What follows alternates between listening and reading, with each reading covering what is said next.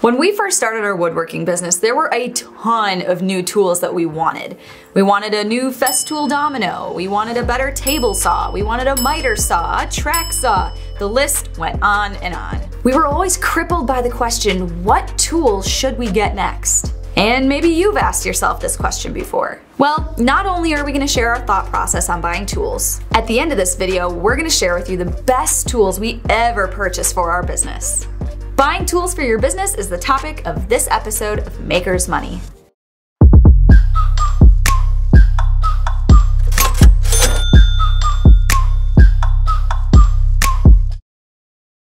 When I first got to college, I wanted a mountain bike so badly. Jenny and I went to school uh, in the desert in Arizona, and there were some amazing biking and hiking trails right across the street from the school. So my first week when I was unpacking my dorm room, my mission was to find a good mountain bike that I could go on all these trails with across the street. I mean, take a look at the picture of what was right across the street from the school. I was so excited about the thought of biking for hours in this beautiful landscape. I wasn't a biker, I'd never done it before, but I was interested to, to start a new hobby and really take advantage of what was right across the street from the dorms. I blew all my money on this mountain bike. Every last dollar that I had saved up from lifeguarding the summer before, I totally blew on the nicest mountain bike I could find. So I got the bike, I got all the gear, I got patch kits and, and tire tubes and everything else that I thought I might need, and I chained my bike up to the bike rack, and there it sat for six months. I just got so overwhelmed with, with homework and all these other groups and signing up for everything under the sun that I just had absolutely no time left to take the bike out on the weekends. Not only that, but the clubs that I joined, when they wanted to go camping or do other fun stuff, I couldn't go because I didn't have the money. I blew it all on a stupid mountain bike. Don't we do this with tools also?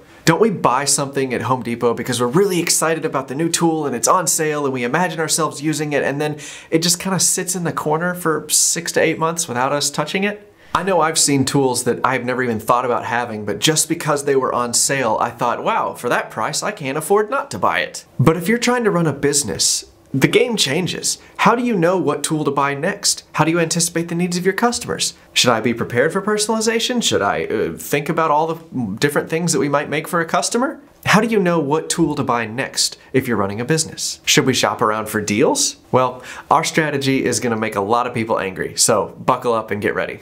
So the first time we started our woodworking business, because we've done it twice now, we bought tools at random, just like we've been talking about. We had quite a few impulse buys, we'd try to catch things on sale, we would buy things off the discount rack. It was just really inconsistent. And when we did want to buy a new big tool, we would do hours of research to try to figure out what the best one was. And that was bad because we would spend thousands of dollars on tools that we thought we needed, but really didn't end up using hardly at all. Maybe you've done the same thing. Where's your unused pile of tools? Let us know what it is down in the comments. And if you don't think you have a pile, ask your wife. I'm sure she knows where it is. Boom. Roasted. But once we started our second woodworking business, we finally got it right. So we're about to share with you the strategies that we use to buy tools for our business without overextending ourselves or wasting a bunch of money.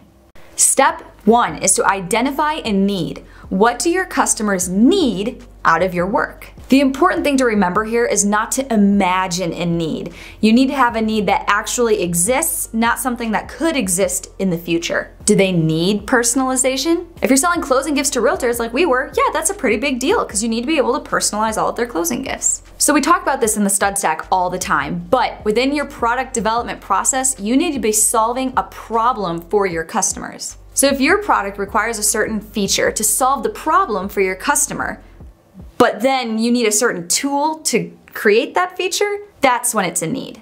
A need might also be a part of your process that's taking way too long. Maybe you need a new tool to speed it up a little bit. So here are a couple of questions to ask yourself to identify a need versus a want. What part of your production process takes the longest? Are you losing sales because of a missing feature? What do you enjoy doing the hard way, either out of pride or because that's the way your grandfather taught you? If you're genuinely trying to run a business, you may need to update some of your techniques.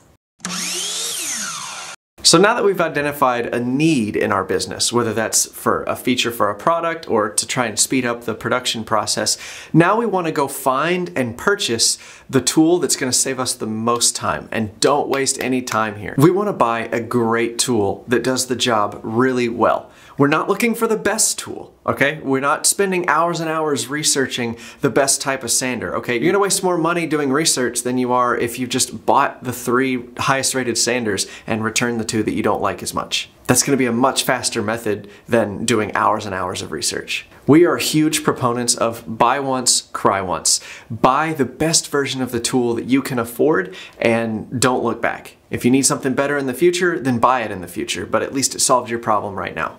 So let's pretend you build furniture and you waste a lot of time sanding. That's like the longest part of your entire process. Well, if you're still using that DeWalt sander you bought at the Home Depot, it might be time for an upgrade if you're making money, you know, the, the finish is, is one of the most important parts of the entire piece. So you want to make sure that you're sanding really well and really efficiently. So it might be worth looking into a Festool or a Mirka sander. When you pair a nicer tool with world-class dust collection, with high-quality consumables, you're going to find that you save so much more money in time instead of using the cheaper version of the tool. If you're running a business and you're accountable to the bottom line, you can't wait around for a sale. You're literally losing money every minute you're not using that new tool. Businesses don't fail usually because they spend too much money on tools. Most maker businesses fail because the person in charge doesn't spend enough time selling. So whatever tools you buy, try to minimize your shop time as much as possible and maximize the time you spend making sales.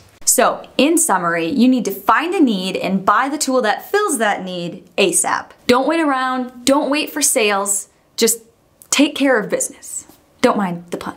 So as promised, here's the list of the best tools we ever bought for our business, and we waited way too long to buy all of them. Keep in mind, we do not take tool sponsors, so all of these are our raw, unfiltered opinions. But there are affiliate links for all of these tools down in the description right below the like button, if you're interested in picking some of them up for yourself. Number one, the Mirka Deros Sander with Festool Dust Extraction.